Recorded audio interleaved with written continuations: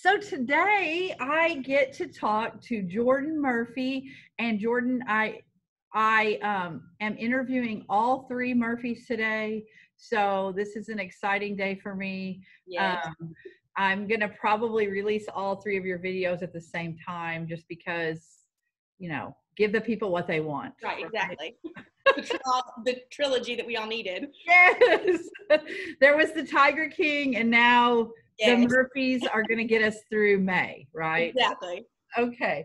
Well, thank you for being with me today. I really appreciate it. I'm looking forward to sharing with my students. So I'd like to just start out with you sharing a little bit about your high school experience, what year you graduated, and you know what you were involved in. Okay, um, I graduated from Marion High School in 2012. I was a cheerleader for all four years. I was on the charter bass fishing team. Um, I was in National Honor Society, National Art Honor Society, National Spanish Honor Society. I was in FBLA. Yes. I um, I actually got to go to nationals with FBLA, so that's Yeah. definitely one of the highlights from my high school career. Um, I was in student council. I was vice president of my class. Um, I was in Uno Club. Yeah. So- There's no Uno Club anymore. Dang, that was such a good club. I know. Sadly, Uno's no more. Yeah. Wow. They were they were um influential here, you know, so it's sad would to think so. Yeah, exactly. So, and um, what year did you graduate? Did you say that and I missed it? 2012. Yes, okay, 2012. So, so 2012, you graduate from Marion High School, and we did have a lot of fun in FBLA, that is for sure. And I, I love taking kids to nationals. Mhm. It just, it was an awesome experience. But so from there to where you are today, would you mind to just share with my students your career path? Sure, absolutely. Um, graduating high school, I didn't necessarily want to go to college. I wanted to go to an art school. I was extremely involved in art while I was in high school, and I wanted to go to an art school. And I was like, no, I'm not going. I'm not going to college. That's not what I want to do. And mom and dad were both like, hmm, you need to go. You need to get your general studies out of the way, and then you can go wherever you want. That way, that if something doesn't work out, then you can come back and get your degree. Yeah. Well, I decided to go to SEMO and I started studying fashion merchandising and I absolutely loved it. Um, I majored in fashion merchandising. I got my degree in fashion merchandising with a minor in entrepreneurship. And my parents had already moved to New Madrid. And so I was looking for jobs with that, and I found a job with University of Missouri. Cool. And so I started working with University of Missouri, and um, they placed you into low income um, counties hmm and low income schools. And I was a college advisor in a high school. Okay. And so I got to be involved in the college access process. And that's where I really started to love education. I was always interested in education because obviously that's what my dad did. That's what I was around all the time. But Yeah. I didn't think it was necessarily a path for me. And then I got into the high school that I was working in and I fell in love with it. I was obsessed with the college access, the college program, and getting to work with all of these admission specialists all over the state. And we were really focused on finding the best fit, best match institution for these students. And they're students that are first generation, that are low income, that don't necessarily have the resources available to them to find a Yeah. college. So that's what I did for two years. And then I started working on getting my education degree. And so I got certified to teach um, 6th through 12th science. And I, I loved my biology classes while I was at Marion. I absolutely those were my favorite classes. Miss Rice was great. Yes. Um, and so I got certified to teach that. And then there was a position open at New Madrid for elementary. And so I got my elementary certification and I am now teaching fifth grade for New Madrid Elementary. And I'm working on my master's in um, educational school counseling psychology, Okay, so you would like to transition into school counseling? hopefully. Well, that makes sense with your experience Mhm. um, for the two years, you know, with the University of Missouri, that you would Right. Bear that up. That, I really, that's something that I really miss is the college access part of education. you know, this is cool because I I knew none of this because uh, I don't know. I can't find you on social media. I don't know if you're. I don't have it. I only have Instagram. okay, see, I'll I'll find you. But anyway, yeah. so I I really didn't know what you were doing right now. I was just like, hey, it'll be good to catch up. But I am right now um, working in a design group with Georgetown University on um, helping build a teacher network that will assist in undermatched students and helping them get to college. So whether the barrier is income level or you know just geographic things or whatever you know whatever um, biases might be in the application right. stuff like that so this is really cool that's that's basically what we did i mean we helped students come overcome those barriers well, we're going to have to stay in communication then because yeah, absolutely. We just started that process um, this week was the well last week was the first week of meetings. Um, we've been doing them all remotely, but anyway, really cool. Yeah, very cool. Uh, so so yeah, I can I can see you doing that. So um, I mean, now there are school counselors at all levels, but it sounds like you would kind of like to work your way into a high school setting. As much as I love elementary. Mm-hmm. I really miss that college access, and I miss like I was doing a lot with like the NCAA clearinghouse and uh-huh. getting athletes ready to go play Division One or two ball, uh-huh. and so I kind of miss that aspect of it too. Yeah, and I just I miss the high school level.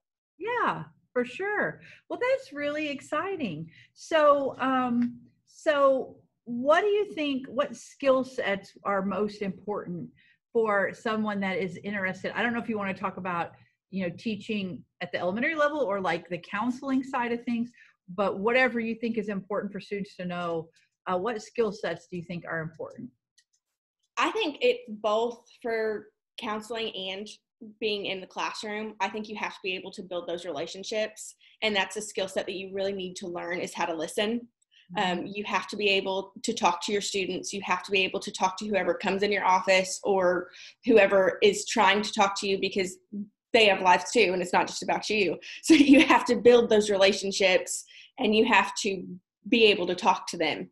And so that was something that I had to learn too was okay, sit back, let them talk. Don't necessarily try to give your advice or, hey, this is what I did. And I know coming from Marion, we had a lot of opportunity our mm-hmm. school was fantastic for what we were able to do and i hope that's something that all of the kids now are taking advantage of is it's we had such great opportunities and living in new madrid and living in where i lived before those schools didn't have those opportunities mm-hmm. so use what you have to your advantage because you need to learn skills and you need to be creative with how you learn skills if you don't have those opportunities. Absolutely. Um, and and one i mean one beautiful thing about the the age that we live in is there's so much information available that you know students can access. If they have internet which is all is an issue for me personally in my own home to be able to get reliable an internet provider but if they have access to internet which most schools do have right. uh, there are lots of opportunities to do research you can do virtual campus tours you know you can learn about careers in a way that um, wouldn't have been available you know a decade ago you know right. 15 years ago so you're right but you just have to be proactive mm-hmm. um, and definitely take advantage here in marion of the resources that we do have and try the different classes to see what you like and what you're passionate about well and that's something that I was so blown away by because I didn't necessarily understand that other schools didn't have that. And mm-hmm. I was working in schools where their whole entire school size was the size of our class. Mm-hmm. So yep. we had such amazing classes. Mm-hmm. I mean, the art classes that we had, the business classes, I mean, there's no, there's nothing that even touches those two programs at any other school. And even our English classes, how many English classes did we have? Mm-hmm. in of foreign language. I mean, yes. And by the way, just a little uh, shout out to Miss Beth Wilson, who is retiring this year. Is she really? Yes, and I know that how much she meant to you and so yes, many absolutely. through our building. And I hate that she is not getting the, yeah. you know, the the end of the year that you like to have when you when right. You, know. So anyway, I know you're just one of many students that was influenced by by her. Because of Miss Wilson, I got to go to New York. I got my dress. I got the National Scholastic Art Award, and it was because of Miss Wilson. There I you mean, go. Right. Yeah, so I, I think you're right, and I think it's good for our students to hear uh, that not everyone, you know, because we're kind of used to it around here. You know, like, oh my goodness, I can't decide what classes to take because there are so many. But I Mhm. don't think everyone has that opportunity. So you know, use it wisely, I guess. Well, and I'm always surprised by our AP course load that we have. I was talking to my seniors when I was in Kennett, and I was like, "You guys don't have AP student art? like, that's what I like. You guys don't have AP government or whatever it was. Like they didn't have those courses. They're like, well, no, we only have two AP classes that we can choose from. Yeah. And so the kids that are graduating from Marion are already put at such a advantage because they've had those courses and they've had those dual credit classes that are available to them. And why not take them while they're free? Absolutely. Absolutely. So I feel like we have really walked right into the advice that you would have for students. Um, um, but is there is there anything else on the advice side you would like to tell students? And then I'm going to circle back on a question I kind of missed. So Okay. Um, working with admission officers, and which I'm bringing this back to college access. that's right. but working with admission officers and everything that I know about college admissions, it's not necessarily about just about your grades anymore. Mhm, Um, and it's not just about your ACT because a lot of schools are super scoring now. mhm. So it's not just about those things, it's about what you can get involved in outside of school and inside of school. So it's the clubs that you choose to participate in, it's the activities that you're doing outside of school, youth outreach, any kind of outreach that you can do is always looked upon because they're looking at the whole student more now because everybody is so competitive. Mhm. So, and that was something that I was surprised by because I mean, we were at WashU, we were at SLU, we were at these very competitive schools, and they're like, well, we're not just looking at the ACT, we're not just looking at their grades. I mean, you have to have obviously great grades in ACT, but they want you to be involved. So, my advice would be find balance between not just worrying about your grades, but also being involved get involved in sports that you maybe weren't interested in. I played soccer for a year. I was terrible, but I tried it. So, I mean, it happens. there are lessons to learn. Yes. but I mean, just find balance between your grades and what you're doing in the community. Absolutely. Absolutely. So I meant to ask you about like a day in the life. So what I mean, I feel like uh students feel like they know like what a teacher does because they see that. But if you even want to talk again on the, the the counseling side or the admission side, like what does the day in the life look like for someone who does that that career, whichever way you'd like to take it. Okay, I can do both if you'd like. Yeah, that'd be great. Okay. Um, when I was counseling, I'd get to school and then I'd start with my first student. And I had to meet with all the seniors, all of the juniors, and I met with those recursively. So I was meeting with them constantly. Um, my freshmen and sophomores I met with, and I had to meet with their entire class, but it wasn't necessarily as often as the juniors and seniors. Gotcha. Um, my seniors, we were making, we were looking at their transcripts and we were looking at um, their ACT scores and seeing at what schools they fit with and matched with. And we were constantly doing FAFSAs. I mean, I spent two years filling out probably 5,000 FAFSAs. Mhm. Um, that was something that I did almost every single day. I was on the phone with either FAFSA or with a college, and I was trying to get these kids into these schools. I read, a, I wrote a lot of recommendation letters um, based on the student that I was seeing. Um, I also got to plan college events. So we did a lot of campus tours. Um, we got to go to Ole Miss. We got to go to Mississippi State. Um, we went to SIU. We went to SEMO, Arkansas State. Uh, we got to do a lot of really fun campus Cool. tours. And that wasn't necessarily every day, but that was at least yeah. once a month, I'd say.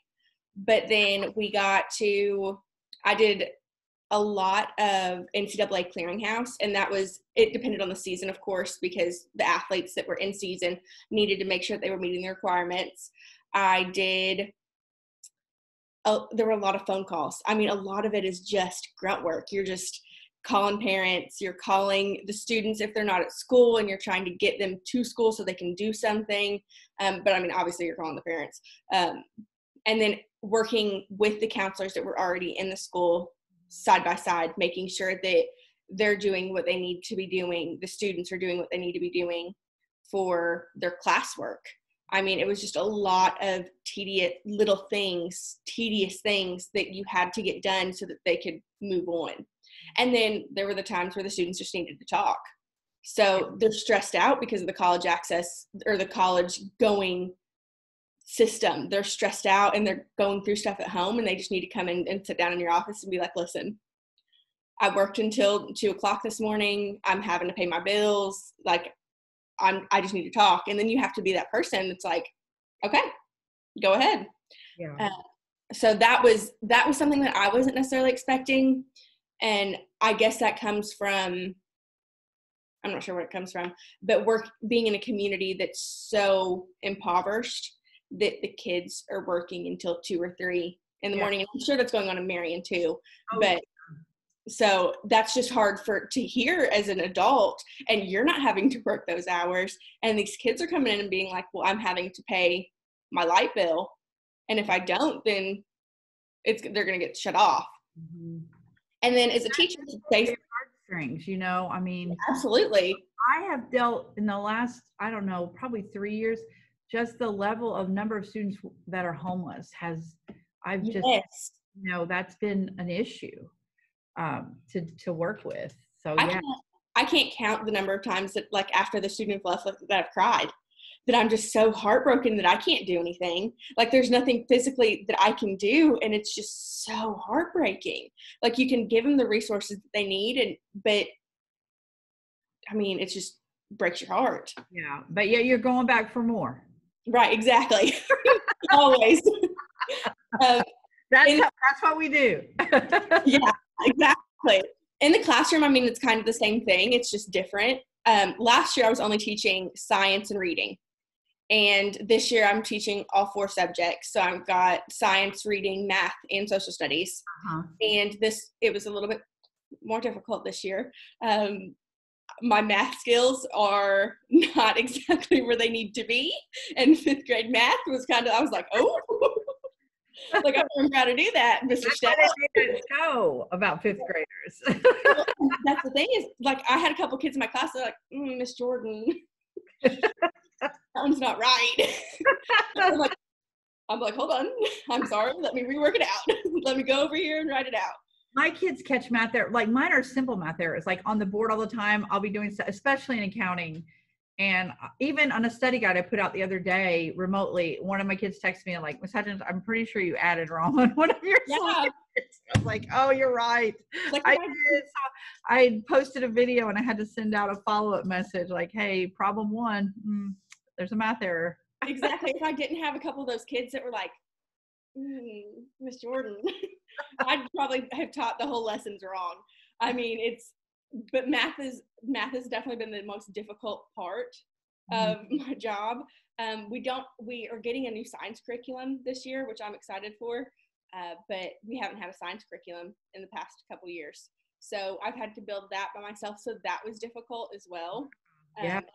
Building those lesson plans around what you're wanting to do, as well as staying with the standards. Yeah. But it's amazing what happens when you tell your students i'm sorry that when you do teach something wrong and you tell them and they're like wait what?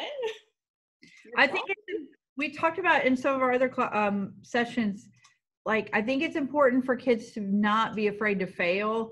And right. one of the most pure things a teacher can do is not intentionally make mistakes but we're going to make them and if we just admit oh you, oh i made a mistake you're right but you know bounce back from it and go on and kids right. need to learn that too that that's okay. Absolutely i definitely agree with that that there's certain times where i make mistakes and they're like oh it's okay. It's okay. You can just come back and do it again. And i'm like oh thank you guys. My little 10 year olds are more mature than i am well that is really cool i am um i'm just so I'm, I'm so excited to hear about what you've been doing and now what you're you know continuing to do um it's it's been really great to catch up with you. Yes, absolutely. And we definitely need to keep talking. I'm gonna um, I want to talk to you more about what you did with the University of Missouri and um, the the matching stuff that you were doing. That's really Absolutely. Well, and that's what I'm getting my master's through, so I still have all those contacts and everything. awesome. So just let me know. All right. Well, thank you so much. I know my students are going to enjoy this. Well, hopefully they enjoy Jesse and Gabe too. Oh yeah, yeah. Well, now it's, it's a contest. We'll take a vote after. Yes. just make sure it sway a little bit towards me. Thank, Thank you. you.